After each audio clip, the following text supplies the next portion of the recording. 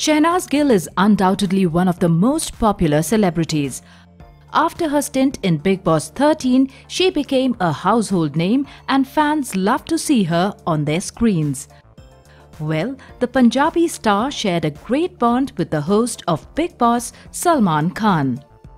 Their sweet bond has made all their fans wanting to see them in a project together and looks like this is going to happen very soon. According to the latest reports, Shehnaaz Gill will be joining Salman Khan in Kabhi Eid Kabhi Diwali. Yes, you heard that right. Kabhi Eid Kabhi Diwali stars Salman Khan and Pooja Hegde in pivotal roles. In fact, Salman's brother-in-law Aayush Sharma too will be seen in the movie. But the latest addition reportedly is going to be Shehnaaz Gill. It is said that she would be seen opposite Aayush in this film. No official confirmation has been released yet, but we bet fans cannot contain their excitement after hearing this news.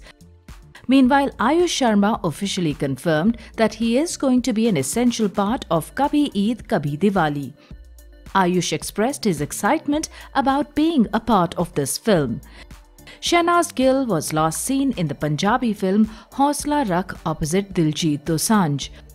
Her character and acting were appreciated by a lot of her fans. If the news is true, then Kabhi Eid Kabhi Diwali will be Shehnaaz's big Bollywood debut. Kabhi Eid Kabhi Diwali is scheduled to be released on Eid 2023. Shehnaaz Gill rose to fame with Bigg Boss 13. On the Salman Khan hosted reality show, Shehnaaz Gill entertained everyone with her cute antiques. Post Bigg Boss 13, Shehnaaz featured in a few music videos, and she was last seen in a Punjabi film Honsla Rakh alongside Diljit Dosanjh.